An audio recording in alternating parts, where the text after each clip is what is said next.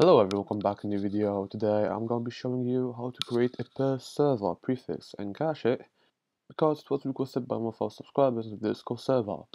So without further ado, let's hop into the video.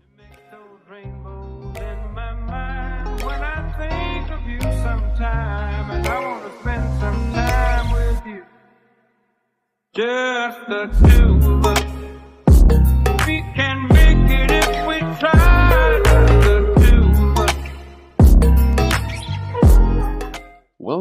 Reasons why you should subscribe and keep up with my videos is in the next video I will show you how to change the prefix from the dashboard itself. Alright, so uh, I'm not gonna do it as a slash command today, I'm gonna do it as a normal command. So uh, let's create a new folder here in the commands, let's name it config, okay. And let's put in it, uh, let's put prefix or set prefix.js. Alright. So first of all, we will need to make a schema. We already have one. So here are the black uh, listed words. We're going to just do here prefix. Okay. Type is going to be a string. That's it. Okay. I'll not put default, I'll not put required, I'll just leave it like that. Okay. So uh, here, uh, let's put set prefix and put aliases as s sp or you can also put uh, set prefix aliases as well. Alright, we don't need this line. And yeah, let's start coding it.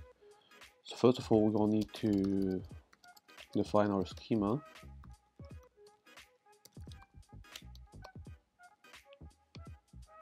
Alright, here. So, uh, e hold on. Okay, yeah. So, uh, first we want to get data, so let data of the guild equal uh, schema. Dot find one. Guild id equal dot, uh, to the message dot guild dot id and if there is no data alright we want to say that data will be equal to schema dot create guild guild id to message dot guild dot id let me take a sip of my coffee please. Okay feeling better now. So uh, now that we have the data defined which will be basically the schema from here we define the guild id if there is no like if there's no data for the guild just create one. All right now i won't say uh, that that prefix uh, like the new prefix let new prefix equal args 0 if there is no new prefix return message dot channel dot send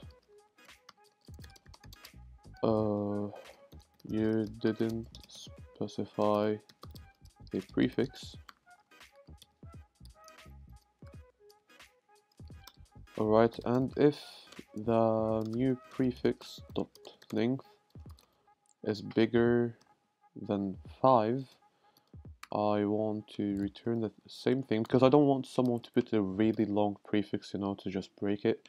I'm going to just put it as uh, like if it is longer than 5 characters it's going to just send a message which will be this. The prefix you've set is too long. Alright there.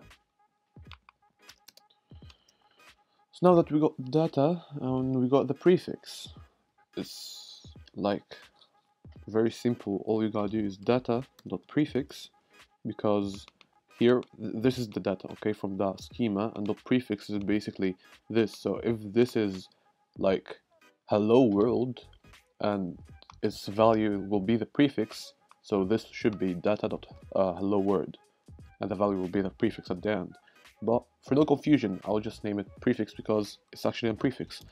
So yeah data dot prefix equal new prefix. All right. And we're gonna do await also. Let's await this and await this. And let's do here await data dot save.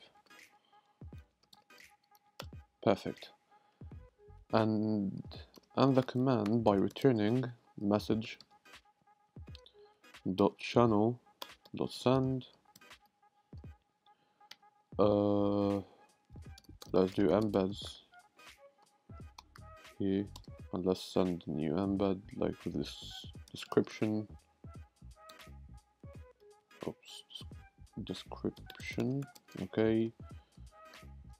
Uh successfully set the prefix to new prefix. Perfect okay. Uh I don't think I want to actually just do anything else or just do the description you can do the other stuff. Let me also remove that. Like you can just make it customizable as much as you want. I'll just make it very simple like that because it's a tutorial. Okay. And also this is a way to send embeds if you didn't know because some people don't know how to use that. This is basically JSON way. Anyways let's try this. Okay. Oops that's my Spotify okay let's go here. Uh let's do set prefix okay good. Set prefix something really long. See? Okay set prefix to yt no white like let's do it like that. Successfully set the prefix to that basically. There's no errors perfect. Okay now that we have it saved we want to actually use it but right now there is not nothing will happen. I'll just still use this one. So we want to actually make it work using the old one. Okay so uh, let's now go to the message event. Message create event here. Alright this line we will not need it anymore. Let's just throw it in the trash so uh, now we will need to define the prefix which I'll do here basically. Uh, and also one thing I will do is cache the prefix. So basically not each time we will check in the database if uh, the prefix is correct not on each message we will check that because we don't want to get rate limited by the like the database. So what I'm gonna do is save it into an array basically cache it and uh, whenever the bot updates is just like it just sends one request to get the prefix and it just saves it. And whenever you restart your bot it just go away so you'll need to just get it again from the database. It's just, it's just not a big deal. It's just a way to make your bot faster and do less requests to your database. Okay. So uh, uh, what I'm gonna do now is I'm gonna do const client uh, dot prefix. Or not no. No no no no no. Not here. Let's actually do it here. If uh yeah let's do if no client dot prefix uh, yeah. We want to do dot prefix will be equal to an empty array.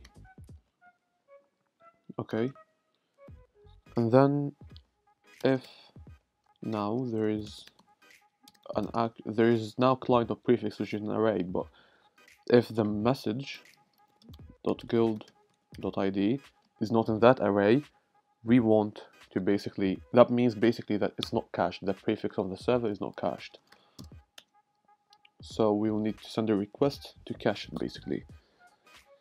So uh, we're going to let the data basically, yeah, that's okay, it's already here, the guild schema. So let data equal uh,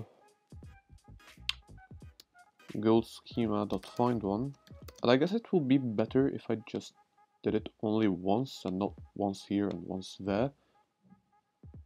But yeah let's just do it once here once there because why not? This only works if the prefix is not there so it will not work each time. And you can cache as well here because I didn't use that method in the video so it will just keep sending requests to the database on each message. So you probably just want to, you know, cache this in the same way as I'm doing right now. So guild schema uh, await of course dot find one guild ID hold on guild ID message dot ID alright if there is no data I will not create a new schema because that will be really useless. I'm going to just set the prefix as uh, the default prefix. So um, I'm going to just do if no data dot prefix. Yeah, if no data. Hold on, I'm confused now. If there is no data, okay, let's just do client dot uh, the prefix and put here message.guild.id equal to the default prefix which is this one. Okay. And if there is no data.prefix okay we're gonna return client.prefix message.guild.id okay so basically what I said here is I'm getting the data. If there is no data at all, just set the prefix to equal. And if there is no prefix set in that data, like there is data, but there is no prefix set, okay? Also set the prefix to equal, the default one, okay? And now, uh, just simply, uh, all I'm gonna do that if this is false and this is false. I want to set it to that prefix in the database so all I'm going to do is return. Let's do this return actually. Return client dot prefix message dot guild id is equal to data dot prefix. Sweet. It's done now. Okay but here what we can do actually is do let prefix equal client dot prefix. And here message dot guild dot id done. Okay. You, this is just uh you know variable you can just use this directly but I'll just store it into a variable because it will be more understandable and faster than just typing all of that or just type prefix. Okay, now let's try it. Now if I this set prefix, it should not work. Look, it is not working because we have that data saved in the database, basically. So what happened, we got the data and there is data, so it skipped this part and there is a prefix so skip this part so it went here and set the prefix to this one. So if I did like that oops set prefix. See now it works. And the fact that it's using this it's using like cache it's not actually sending a request to the database makes the bot much faster okay so that was it for today's video. I hope you really enjoyed. Don't forget to like and to subscribe and leave a comment down below what you want the next video to be. That's it and ciao.